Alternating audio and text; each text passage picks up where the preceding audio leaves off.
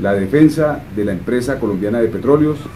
Recientemente el ministro de Hacienda manifestó que estaba sobre la mesa la posibilidad de venta de Ecopetrol.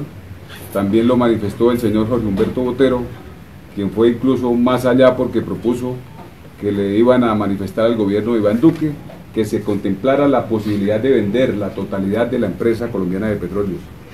De igual forma, en este pliego de peticiones llevamos la propuesta concreta en materia de política petrolera que no se venda CENIT, es la filial más importante que tiene Ecopetrol, la que genera entre el 50 y el 60% de utilidades.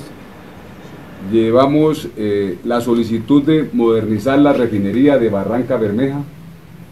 El país hoy importa al año entre 3.500 y 4.000 millones de dólares en combustibles.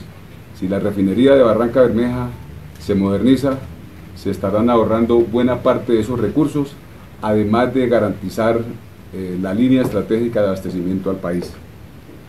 De igual forma planteamos la no venta de campos, que Ecopetrol, durante la vigencia de la próxima convención que esperamos pactar, se comprometa a operar directamente los campos que tienen contratos de asociación y cuya vigencia finaliza en el desarrollo de esta próxima convención colectiva.